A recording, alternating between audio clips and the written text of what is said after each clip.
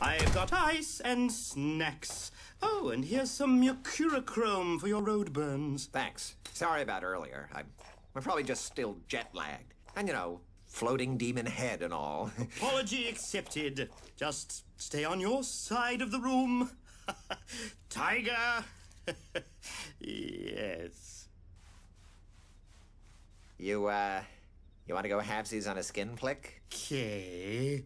Okay, you may want to let me go. Fair warning, because when I get scared, I get super gassy. Plus, once I threw up in this kid that sat in front of me in a tilt-a-whirl. Don't forget about the time you passed out on the Monarch's cat. Oh yeah, I killed Mr. Mosley Mins. Wait, oh my god, you're 24! Duh. You're still under the hypno spell. Okay, this is for your own good. Look into my eyes. You're extremely relaxed and you feel the urge to let me go. You know in your heart that I will rescue you and save the whole cocoon. Will you knock it off? I'm just taking you to your room. And that is what you will tell them. Your limbs are getting heavy. So heavy. Sleep. Sleep. Sleep. Ow! I fell on my cellular phone. Sleepy.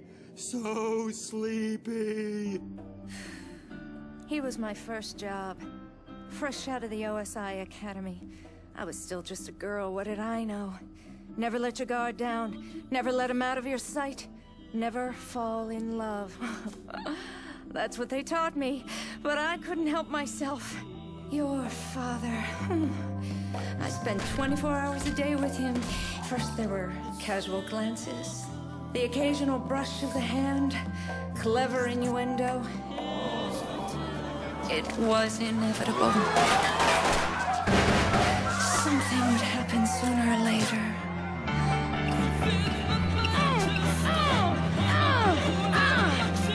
Ew. No! No, it was not Oogie! It was the most wonderful, passionate night of either of our lives!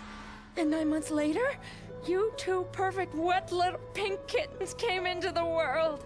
From out of my body. Oh, double ew! I just didn't know what else to do. He's taken over the whole cocoon. And you're our last hope. Oh, yeah, this. Yeah, this is the new Monarch Mobile. That's how bad it's gotten. It, it doesn't even burn nitrous. It's like a family car. My God, once we painted wings on it and it was like water-based paint, so when it rained, it dripped off and made it look like we tie-dyed it. Like we took it to Magic Mountain and did that spin art thing on it. Oh my God, do you remember spin art? Yes, I remember spin art. Spin art was so cool. Just drive. Thanks, buddy. You ain't much in a fight, but you're good at rescue and recovery. Yeah, I thought she was gone for good after the last time